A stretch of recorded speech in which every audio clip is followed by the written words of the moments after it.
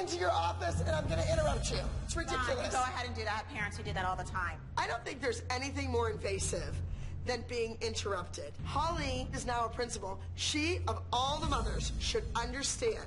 I would like for Nia to be considered for the trio. You said you would consider her, yet you looked at her and you looked beyond her in pyramid and didn't even give her the courtesy of being You considered for are that. so far no clue. I was already planning on Nia being the swing for Paige in the trio, but Holly can't even give me three seconds to let me tell her this. No, she has to come in, interrupt my rehearsal again. Paige might not be able to do it. Nia's in. Why didn't you just And Nia has a solo because you come and interrupt me. You don't need to do that. You don't know what my master plan is. You don't have idea. You would think that she would have a little bit of same page. That's all you got to say. It's like Holly, we're thinking the same thing. That's all you had to say. Yeah, You didn't have Holly, to. it's not about what you're thinking.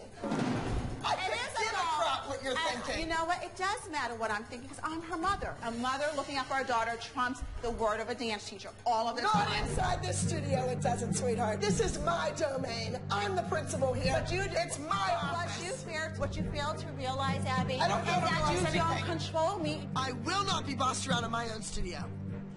I give Nia a solo, and then I think about putting her in the trio, but that's just not good enough for Holly. Nothing's ever good enough. Well, you know what?